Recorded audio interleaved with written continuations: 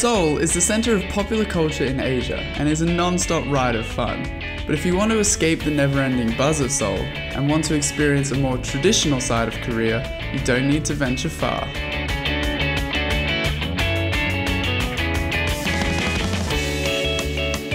Bukchon Hanok village is located close to Seoul's famous palaces and dates back to the Joseon dynasty.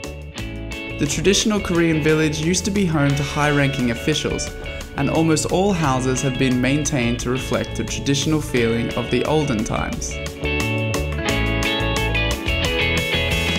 When you wander through the village and you find an alley that isn't full of tourists, it really feels as if you've travelled hundreds of years back in time. It's difficult to imagine that such a traditional, quiet, and peaceful place exists in the middle of the intensity of Seoul.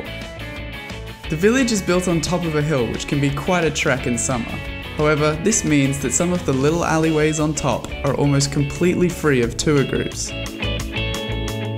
Stock up on water and go beyond the map to see the best of the village. If you explore far enough, you can get some great views of Changdeokgung Palace. While the village is one of Seoul's main tourist attractions, it's also a residential neighborhood.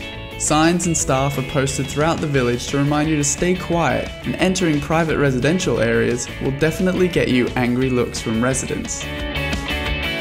Come with an empty stomach because there are many tiny restaurants and shops hidden away in the village selling traditional Korean snacks.